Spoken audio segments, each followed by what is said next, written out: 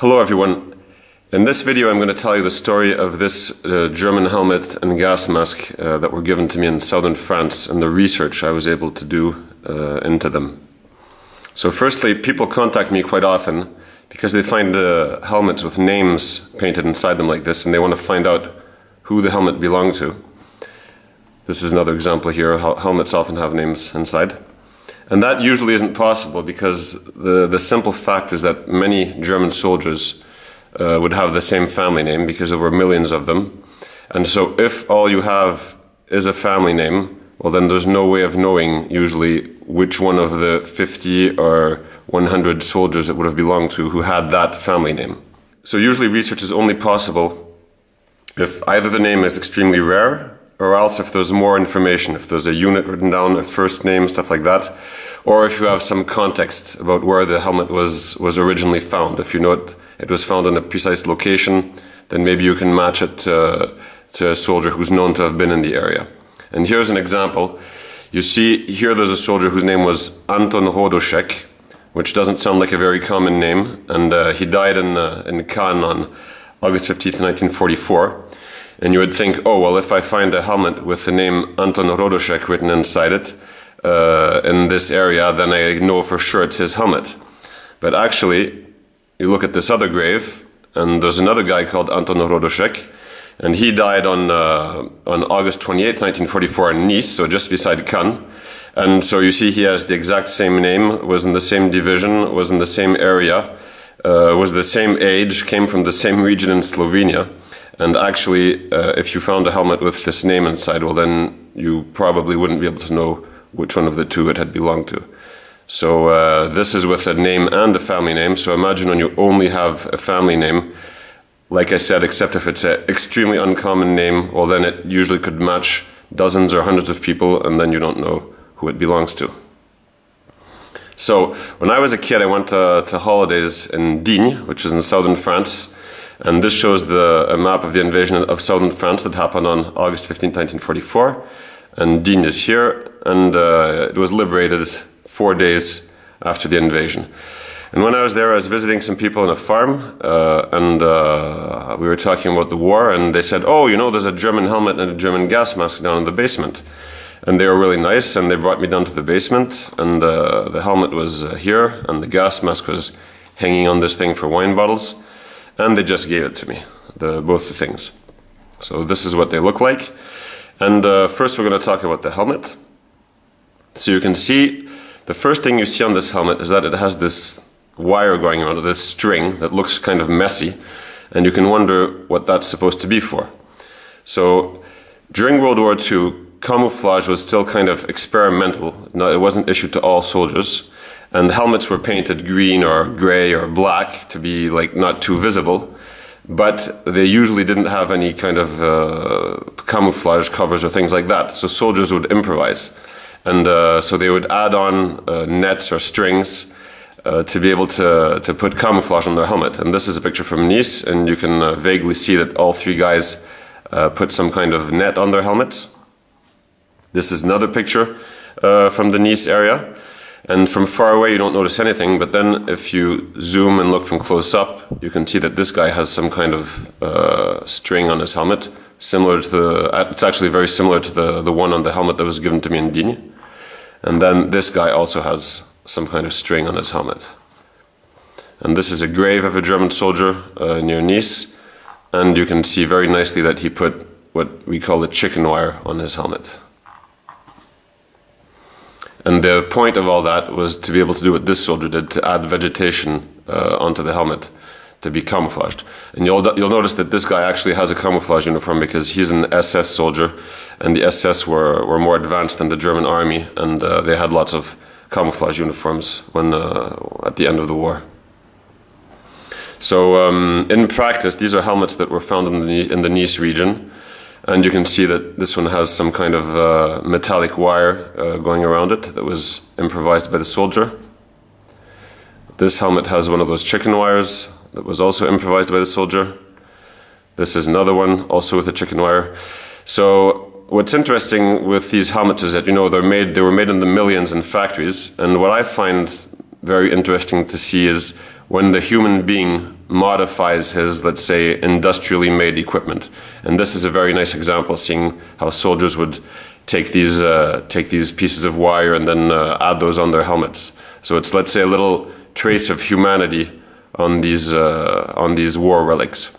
And another thing that's interesting is that nowadays German helmets can cost uh, hundreds of dollars, and um, collectors love it when they have these camouflage things on them. And when they do have one of these nets or wires, that literally makes them two times more expensive for the collector's market.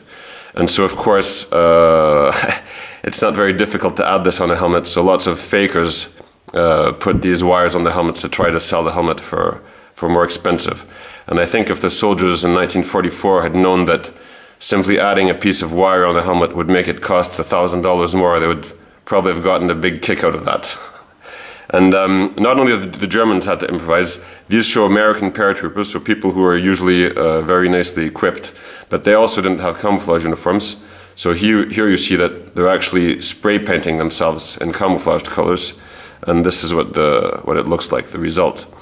And uh, I was lucky to find a very nice helmet with these uh, remains of uh, camouflage paint in southern France, the Marvin Mols helmet. And if you want to know more about it, you can watch my video I made about Marvin Mols' helmet. So let's get back to the, to the Digne helmet. So um, it has this wire going all around it, as you can see. This is what it looks like from on top.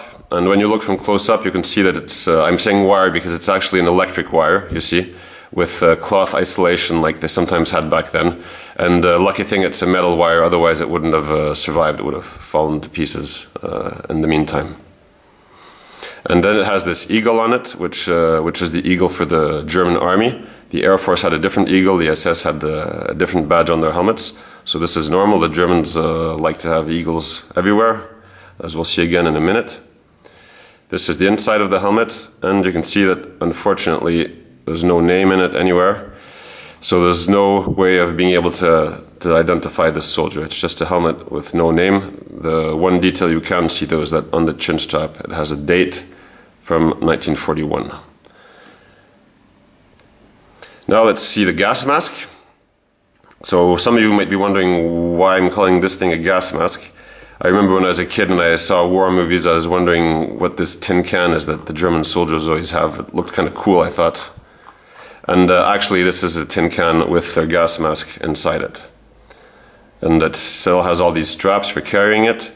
And uh, this strap I, have never seen anywhere else, and I've asked collectors if they know what it is, and nobody's been able to identify it. So if anybody knows what this strap is for, you can uh, post a comment on the, on the video. So when you open the gas mask, this is what it looks like. And uh, let's look from closer. So first thing you can see it's from uh, 1941, just like the helmet. Then it has this uh, eagle stamp. Uh, this was like some kind of quality control inspection stamp. And like I said, the Germans loved having uh, having eagles all over the place during World War II. They even had them on their ammunition. These are shell fragments, and if you look from close up, you can see that even the, the shell had a little eagle and swastika on it. So if anybody in Hollywood is listening to this video, I have a good idea of a scenario for you next time you make a war movie. Have a soldier be wounded by shrapnel, and when the surgeon removes a piece of shrapnel, he sees that there's an eagle and swastika on it. That would be a pretty cool scene, I think. So let's get back to the gas mask. Um, as you can see, it also has a name inside it. And gas masks were something important. Uh, they existed in three sizes. And then uh, each soldier had to set the mask so that it was his exact size. So since everybody had his mask uh, with his size and his settings, and since the mask was something very important in case there was a gas attack, so that they wouldn't get mixed up, uh, the gas masks almost always have names written inside them, which of course is great for people like me who like to do research. So this, this one here, see, has the name Gefr means Gefreite, corporal, and then the family name is Monzhausen. And this is very good news because Monzhausen is an extremely, extremely rare name. You can figure out how rare names are, for example, by looking them up in the German phone book. And when I looked this name in the German phone book, there was only one person listed in all of Germany. So that means that there's not very many, and there's good chances of perhaps uh, being able to identify this guy.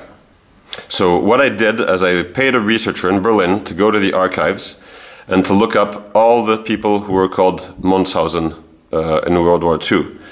And uh, I was lucky because uh, he said there's only three guys who served in the German army with that name, Monzhausen. And I told him I was interested in, in a guy who was in France. And he said that the correct one is probably this one here, Nicolaus Monzhausen, Nicolaus Monzhausen. And um, this is the guy's story. So it says that he was in, uh, in a hospital in Bordeaux, France at some point in 1941. It says in 1942 he was uh, wounded in the, in the left leg and was in hospital in, uh, in Paris.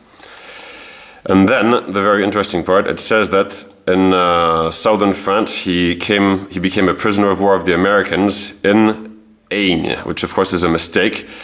Uh, it should say Digne here. And uh, the guy was also in a unit, Landesschütze Battalion 625, that was uh, located in the Digne area. So I have the gas mask given to me in Digne, uh, where the people picked it up at the end of the war, and it has the name Monzhausen, and there's only three Monzhausens who served in the German army, and one of them is known to have been captured in Digne. This is about as good as, as a result that you can get for, for research where everything matches nicely and let's say that now we know beyond a reasonable doubt that this gas mask would have belonged uh, to Nicolas Monzhausen. And I don't know if it's his helmet too. Both of them are from 1941, but it's probably just a helmet that was lying on the street after the fighting, and maybe it's his, maybe it's not his. And the way I could know that is maybe by finding a picture of him where he could be wearing that helmet.